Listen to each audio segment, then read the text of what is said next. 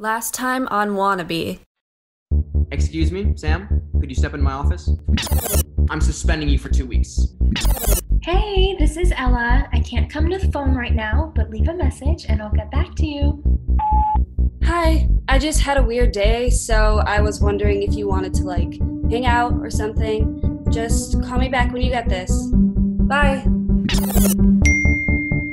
Hey, I'd love to grab some food and catch up. Brunch at the Bluebird Cafe at 11?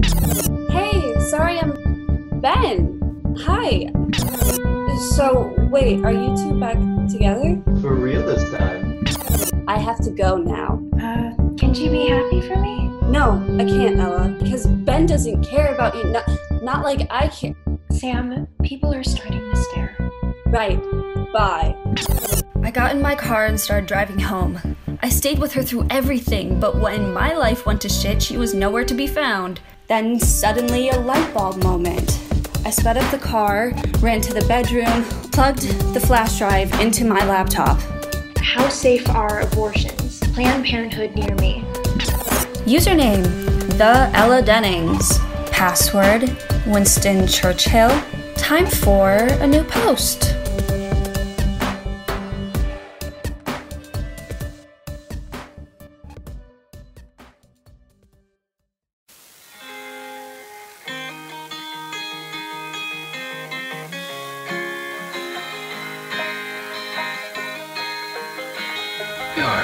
Listening to a Purple Crayon Productions broadcast.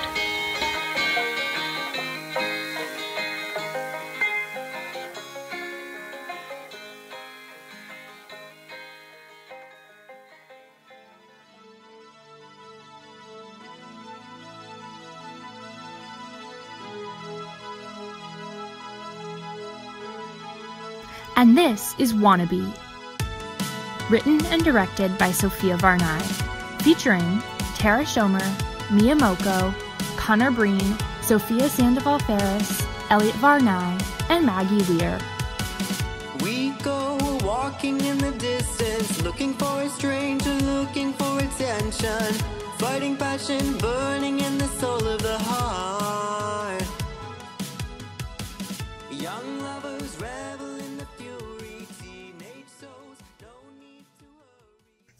Hey everyone, and welcome back to Beyond News.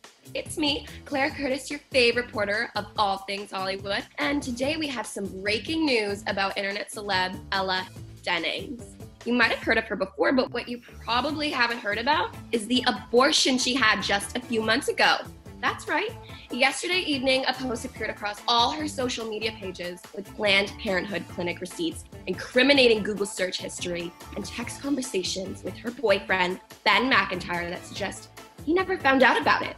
Until now, that is. Ella has since deleted the post and claims it was the work of a hacker, but has yet to verify or refute the claims made about her. Ben also has yet to release a statement. Of course, it's a woman's right to choose, but should she have kept it a secret? And who was behind the leak? We'll keep you guys up to date, and as always, let us know what you think in the comments down below. It had been 18 hours since I hit post. She hadn't called, she hadn't answered my concerned text, she hadn't posted anything. 20 hours later, still no reply. What was happening? She, was she okay?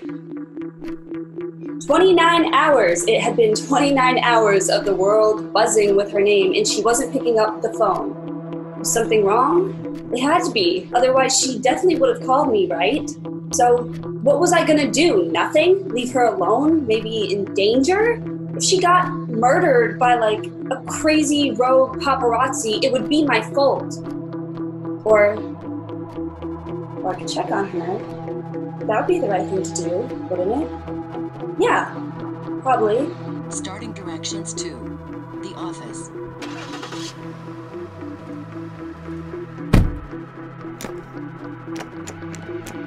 Okay, the door was locked, but I knew it would be. Luckily, my ID badge hadn't been disabled. The fluorescent lights shuttered on, casting an eerie glow on the desks, swivel chairs, mugs of pens, framed photos. I made my way to my computer. I'm the surveillance camera. I was just reaching for the mouse to click on Ella's file when. Hello? Shoot, I forgot about Marcus, our overnight security. Sam? Hi, Marcus. Sorry, I just realized I left um headphones here, so I'm gonna grab those. At 11:30 at night? Yup, Okay. You good now? yup. Sorry. Uh, bye. Well, that didn't go how I'd hoped for. But it wasn't gonna stop me. I cared about Ella, and now it was time to prove it. Back in the car. And outside Ella's house. I had my pepper spray in hand. My Swiss Army knife was in my back pocket, just in case. Okay, here we go. I walked toward the front door. All the lights were off. Her car was in the driveway, so she hadn't left. Unless someone had taken her. The door was locked, but you know what probably wasn't? The window right next to it.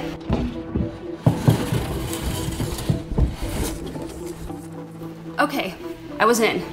Ironically, I finally felt like a real life spy only after being suspended from the NSA. But back to the point. I looked around the living room. No furniture was tipped over. There was no blood anywhere. So, I moved to the kitchen. It was all clear too. What was that? I tiptoed toward the bedroom. If she wasn't there, she was long gone, done for. And just as I placed my hand on the doorknob, ah! Ah! Oh, my eyes! Oh my god, Ella? Sam? Oh my god, I'm so sorry. What the hell is wrong with you? You need to wash out your eyes. Why are you in my house? I was worried about you. So you pepper sprayed me? You hit me on the head with a frying pan. Just let me help you wash out your eyes. I promise it'll hurt less. Fine.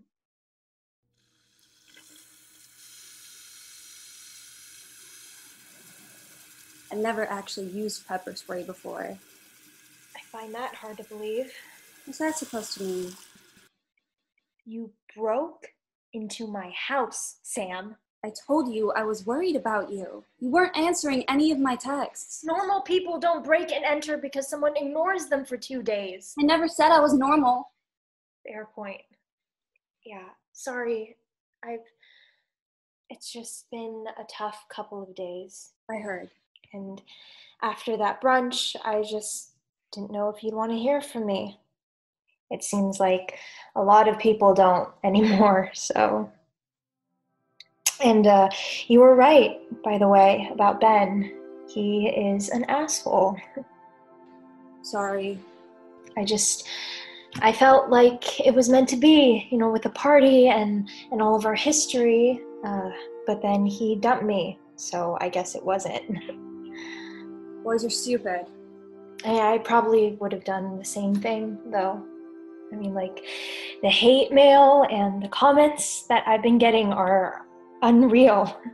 I'm a liar, I'm a baby killer, I'm a whore, and and my parents, my parents are they're so scared and disappointed. Like the other day, my mom tells me that someone left a dead animal outside our house, which is like, I mean, it's like disturbing. Oh god. Yeah. But I, I, I still should have called you. I mean, you're like the only good thing in my life right now. I don't know about that. I'm not kidding. I, I, everything else has gone way out of control, and you. Ella, I invited Ben to your party. Huh? I logged into your Facebook and I invited him.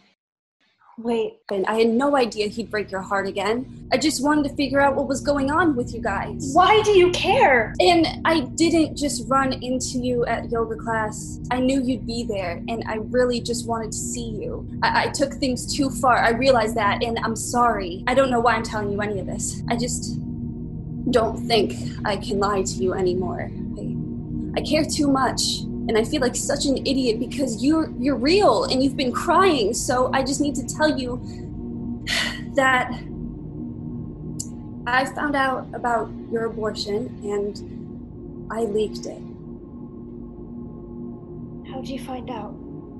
Um, your search history got flagged and your house has lots of cameras and microphones. So, what you're saying is that you've been stalking me? No, no, I haven't. I mean, kind of, but I was just doing my job. Yes, I took it too far, but I'm not responsible. That's not me.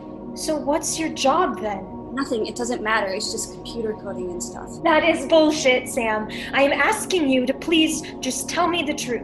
All right. I have an office job at the NSA. So I can see most things about a person, like their search history and their location and who they call. And I gather information. If anything about them seems suspicious, I start an investigation on them. So, I was suspicious? You were flagged because of the abortion stuff. But after watching you for so long, I realized I mostly just liked getting to know you, and we had this history. So, has any part of this been real? Yes! Oh my god, yes! They don't even know we're talking. None of this is allowed. I just care about you, like, a lot, and I really messed it up. Wow. I feel so stupid right now. I, I let a nobody from the government ruin my life. Like, you're not even just a stalker, you are so much worse. You are like everyone else. You hate how you look, you're bored with your life, and you wish you were somebody you know nothing about. I know you better than you think. Is that why you have such a crush on me? You know, I thought it was sweet that someone really cared, but now it's just gross. But if I. Oh my god, get out of my house! No, I'm not leaving. You need me. Fine, if you won't leave, then I'm gonna call for help. What? You you can't do that. I can do whatever I want. What we didn't know was the authorities were already there, parked outside the house. It'll come as no surprise that Margo had suspected something was going on for a while now. Because if there's ever anything you want to talk to me about, Everything's fine, Margo. okay, you've just seemed preoccupied. We have a responsibility to do the right thing. But she only managed to put the pieces together when I said, So, where was this party? And why wasn't I invited? It was at my friend Ella's house. You don't know her. Why does that name sound so familiar? Maybe because that wasn't the first time I'd mentioned Ella to Margo? What case are you on? What? Um, Ella Dennings? Nothing too fishy, just some minor flags. First things first, Margo, we need to get her out of this office. Then we can keep an eye on her and we can see what she does next. And I basically did the worst possible thing. Sam? Hi, Marcus. Sorry, I just realized I left um headphones here, so I'm gonna grab those. At 11:30 at night? Yep. bye. This is security. We need eyes on Sam. But anyway, back to the present. Ella, put the phone down. No. I had to stop her. Suddenly, I found myself pulling the knife out from my back pocket. What is that? It's. I guess it's a Swiss Army knife. Okay. Team, keep your eyes on Sam and get ready to move. We stood there for a minute looking at each other. Neither of us said anything. Then she ran at me and grabbed onto the knife's handle. We pulled it back and forth. She kicked, I yelled, and finally I made one sharp tug towards myself. The blade slipped across her palm and she screamed. Ah, my hand! You cut me! What? Oh my god, I'm so sorry. Ah, it's like bleeding a lot. I rushed toward her. This had not been part of the plan. I set the knife down to look at the bloody fist when suddenly Ha! Got it. it was in her other hand. Now you are gonna sit down and stay there until help gets here. And then you'll be gone and I will forget this ever happened. Wait a minute. I don't think you will. Well, it's definitely gonna take a while. You need to hang up the phone. Come on, why isn't this stupid thing working? They're not gonna let you walk away knowing all this. You aren't safe either. Put the phone down. So, We're in this together now. Open up! We've got to get out of here. Sam, what is happening? Come on. I am not going anywhere with you. Please, Ella. I need you to trust me. This was gonna be a long night.